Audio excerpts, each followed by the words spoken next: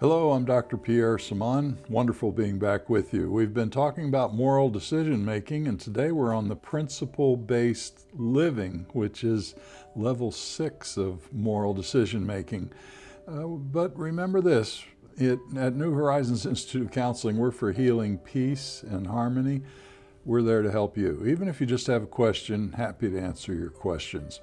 Well, we've been following this. This is. Um, the uh, brainchild, you might say, of doc, psychiatrist Dr. Timothy Jennings, uh, where he came up with the seven uh, moral decision making levels as we uh, go from childhood on. And uh, for those of you that have uh, studied developmental psychology, you know the developmental stages of of growth. Uh, here, here we're talking about spiritual, moral stages of growth and how that is just as important and it's uh, a reflection of those developmental stages of growth as well. We have previously spoken of uh, reward and punishment, uh, marketplace exchange, social conformity, law and order, love for others.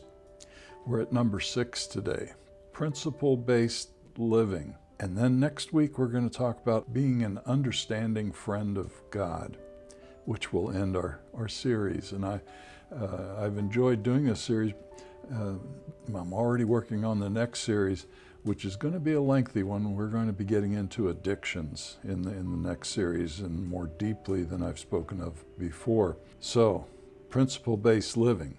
A principle is a fundamental truth so fun, what's a fundamental truth? Well, you know, it's a, you water the flowers. If you don't water the flowers, they're going to die. Uh, it's a fundamental truth. If they don't get the nutrients, the water they need, the nourishment they need, they're going to die. Plants, flowers, trees, and even us humans, it's the same.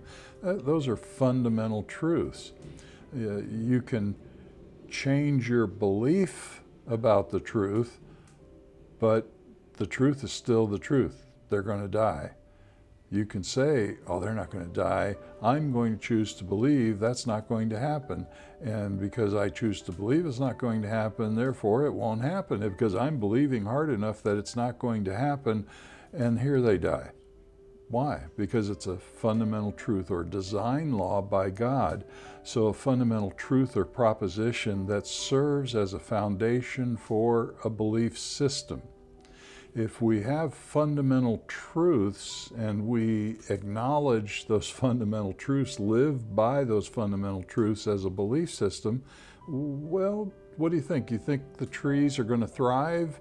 Do you think good things are going to come of that? Yeah, more than likely, uh, you're going to have a good system because you're, you're, you're recognizing, you're facing the reality of these fundamental truths and you're going along with them, um, supporting them, uh, not trying to break the harmony uh, that is seen within those fundamental truths because what happens if you break harmony you stop feeding the water, you stop giving the nutrients, or you, you, stop feeding yourself, you break the harmony, you die.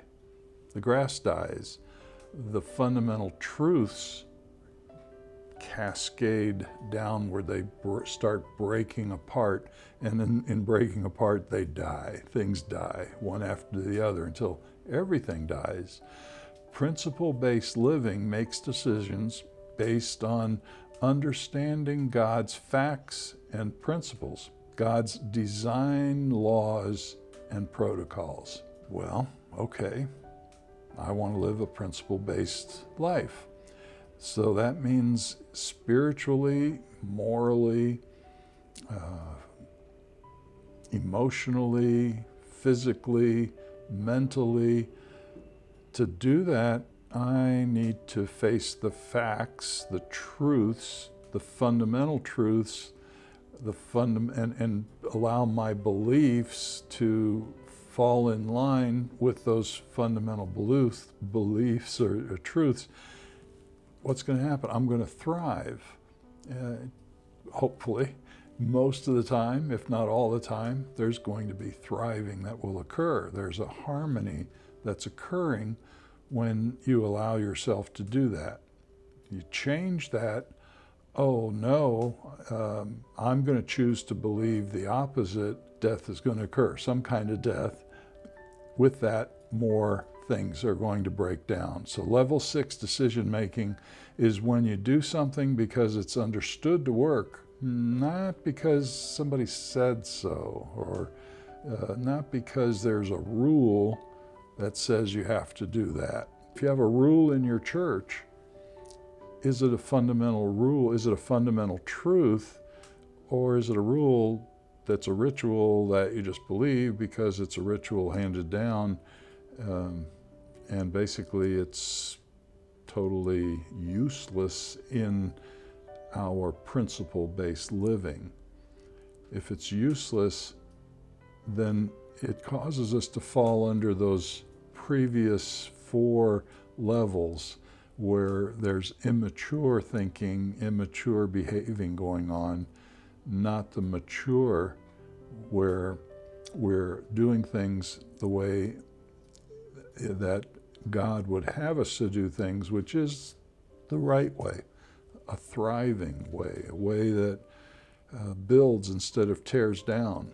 If I have rituals that are placing a burden on me, and they're not productive at all, gosh, uh, what's the point of that? But if I say, no, I'm going to take the time to help the community, to wash a window, to um, paint the fire hydrants. You know, at our church in Daytona, back in Daytona, uh, we would do those community things and uh, paint fire hydrants, you know, for the police or the fire department, uh, certainly with their permission. Um, wash windows, go to stores, uh, uh, go to laundromat and give out quarters. Um, giving out to the community, what does that do? It, it produces. What does it produce? It's going to produce something good you know, it may not get them into church, but certainly it's going to help them in some way. There's thriving occurring, something good's coming out of it. But if I'm doing a ritual that's just useless and I'm just, you know, it, it, it causes me to dread having to do it, but this is what we do, does that sound like it's coming from God or man? You got to think about those things, question those things sometimes. Well, the mature level six that we are talking about, truths and principles, become part of our inner workings so that we can stand and walk the Christian walk. We can stand up straight and know that we're doing good with whatever it is we're doing there's purpose in it, that in the purpose, it's fitting within the harmony of whatever God's life cycle, God's uh, truth, love, liberty is, is saying. In that harmony, we're thriving. Maybe others around us are going to be thriving as well. Don't you think uh, you'd hold your head up higher? You'd feel better and stronger? I, I think so.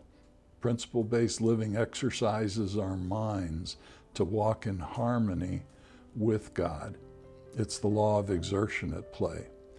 If I'm doing something good over and over again, I'm exercising my mind to continue to do it, there's going to be thriving. If I'm exercising my mind to do something bad, something wasteful, useless, selfish. Now I'm damaging my mind. And not only damaging my mind, I'm damaging my body. And research will bear that out when they look at the brain scans of people who think that way and live that way. The brain scans show they're not thriving in the brain as those people who are doing it God's way, thinking those good thoughts living that life that's productive and helpful. And it doesn't mean you have to be rich to do that. You don't have to have all the money in the world. You just have to have a desire, a heartfelt desire to want to do those things. Well, let's look at an example. Legalizing marijuana may become a federal law, but they can never pass a law to make marijuana healthy. I remember when I was younger, especially uh, in high school when all this was coming out many years ago, they, they, oh yeah, no, no, you can do this. It's not, not going to bother you. It's health, it's healthy. It's good for you. All that. They even came out with a study from Canada. Some researcher, uh, and they put that all over the news. You know, oh, it's perfectly safe. It's good for you. There's nothing wrong with it. Uh, later, they found he mess- he fraudulently um, delivered the uh, uh the article, the journal information. Uh, his research was fraudulent. It, it didn't stand up to others trying to see if they could come up with the same results as the study. And he admitted he was a heavy marijuana user and he wanted to bless everybody by giving them good reasons why they should keep using marijuana. Well, the more mature individuals will choose not to use marijuana. Why? Why do you think that? Because someone said so? Because it gave them a headache because uh, it made them hungry and they didn't want to gain weight. No, a more mature individual is going to choose not to use marijuana because it violates health laws. So that law of health, God's design law, uh, that unchanging law that we, we spoke of, it violates health laws and damages the body and brain. And that's a fact it damages the body and brain. Plenty of research about that, uh, brain scans, and with our with the technology nowadays, uh, it's amazing what they can see, showing what it does to the brain, showing the specks, little white specks. They used to call them cotton patches when they first came out with the CAT scans, um, and they wondering what, what are these cotton patches in the in the brain of these certain people, and they thought something was wrong with the CAT scan. So they researched it further and they discovered those individuals were marijuana users. And they found that the marijuana covered uh, the, uh, the chemical in the marijuana, the HTP, uh, covered the tips of the dendrites with a ceramic like coating. I say ceramic like, it's not porous, nothing can go through it. Therefore, no neural pathways are open when that occurs, the chemicals are not flowing and they shrink. The dendrites will shrink because they're not being nourished. And as they shrink, you get this disconnect and oh, um, hmm, spaciness. If, you've, if, you've, done marijuana, I did when I was young and uh, in high school. But you know what? yeah, that's spaciness. And we would think, oh, that feels good. You know? You're getting dumber. It's damaging the brain.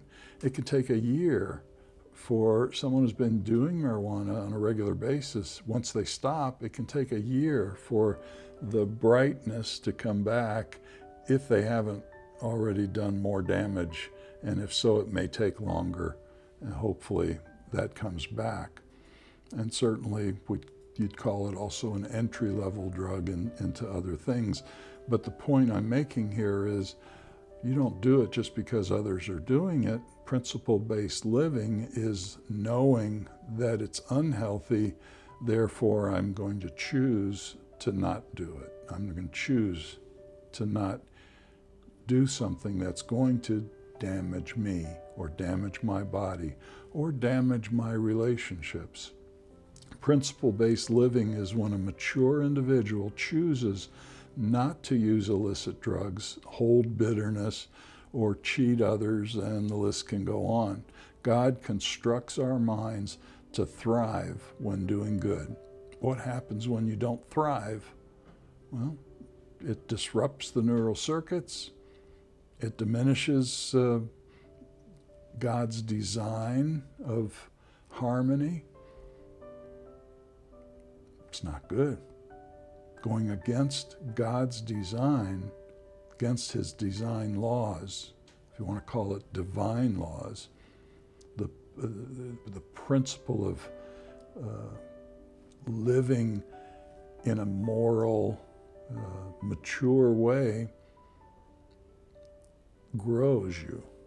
You thrive. But when you stop, it distorts your character, damages your character. It erodes the foundation of peace inside of you. You, you mess up the harmony, you start breaking down. Dr. Timothy Jennings, a psychiatrist, states that disrupting those neural circuits in the, in the brain also activate fear circuitry, which causes inflammatory cascades. Think of that word inflammatory. They're using it a lot more nowadays uh, when talking about medicine and, and, and, research and all that stuff and our diseases, especially with COVID and, uh, and whatever the disease they're going to come up with next. Inflammatory cascades. It's not the uh, the disease that necessarily kills you, it's the inflammation that comes from that. Uh, and in some cases, from the medicine they give you to treat it, um, that causes a breakdown. It cascades. It's it's tumbling. One gets worse, and, uh, like a rock coming down, and suddenly four rocks, suddenly a whole dozen rocks, suddenly it's a whole bunch of them. It's that inflammatory cascade of inflammation starts spreading throughout the body and damages our brains, resulting in pain and suffering to the one who commits such acts. They're disrupting the harmony when they're doing that.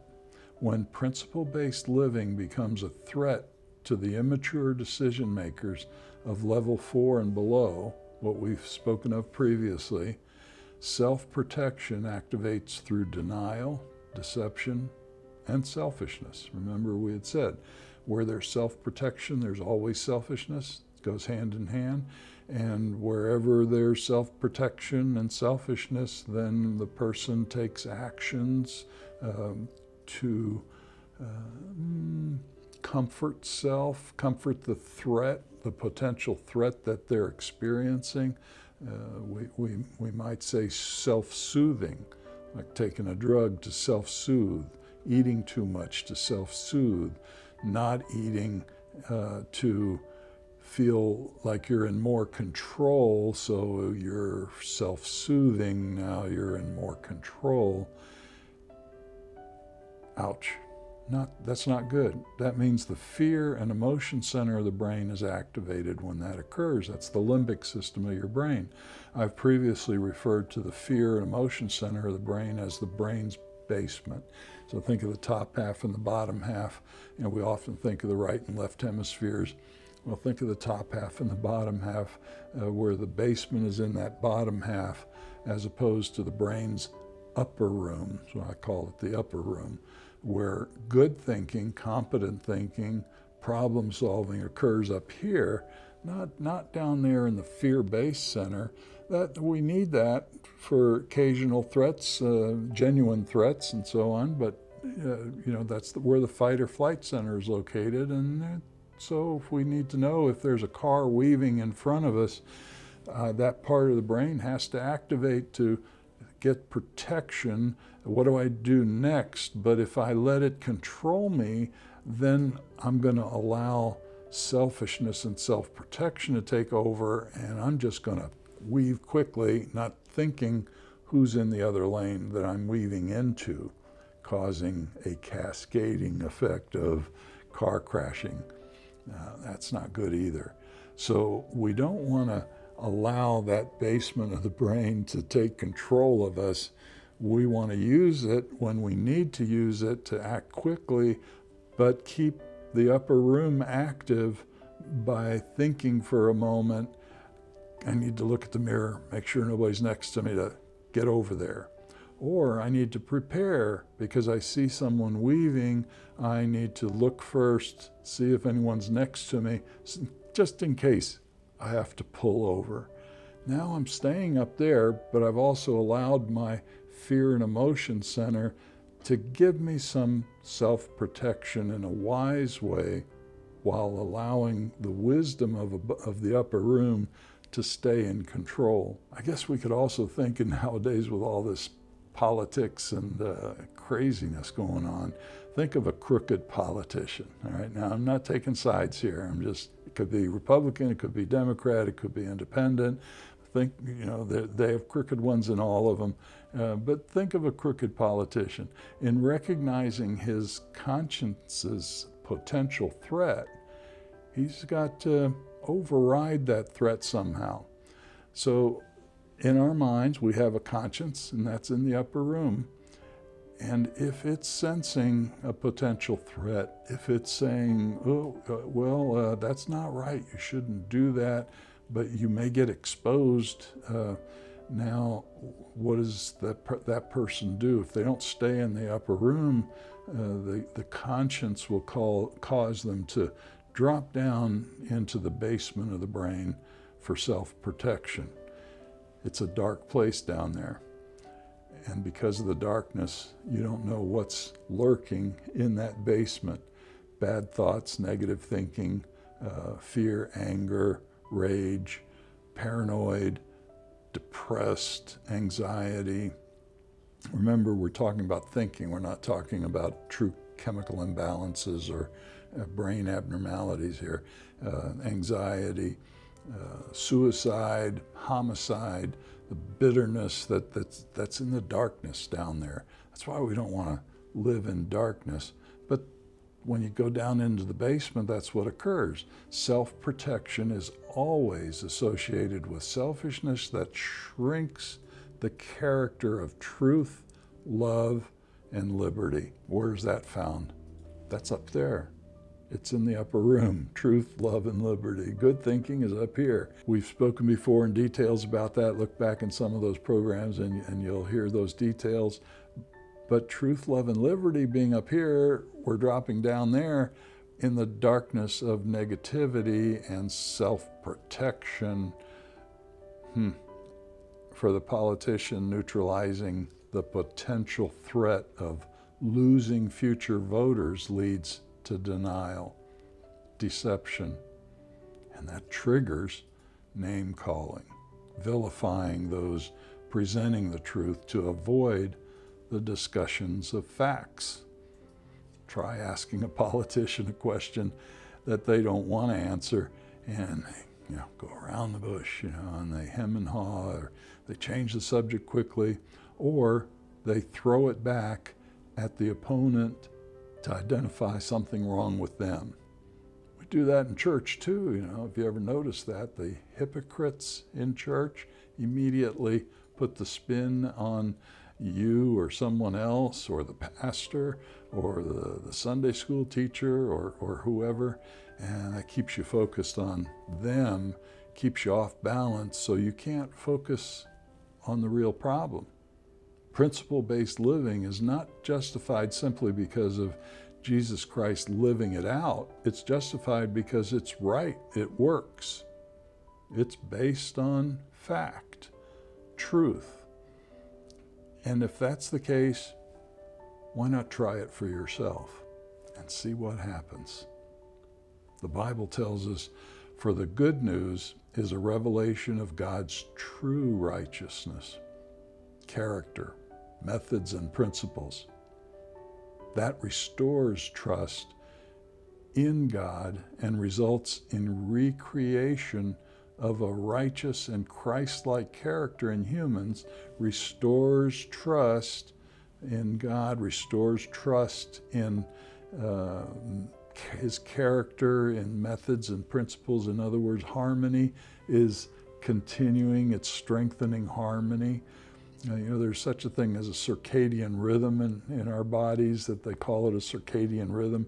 There's an actual rhythm that goes on. You disrupt the rhythm by not sleeping or not eating or not not doing something you should be doing it disrupts the rhythm and you feel out of sorts and you're not even sure why well the whole system is now out of whack we want to stay in that harmony in that rhythm so the results of recreation of a righteous and christ-like character in humans just as it's written the christ-like will live by choosing what is right in governance of themselves, choosing what is right in governance of yourself, in doing what's right for yourself, which is going to help you to thrive in harmony with the facts, the truth, um, the way God designed things to be, and by trusting God with how things turn out.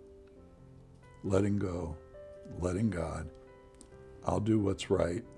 I'll trust that God is going to cause these things to happen or help these things along for my best interest. And whatever happens, He'll walk with me through it, help me through it, and I'm going to come out that other side better as a result of it. Well, I hope you got something out of this today. May your troubles be more minor, your blessings more, and happiness come through your door. God bless. We'll talk to you next time.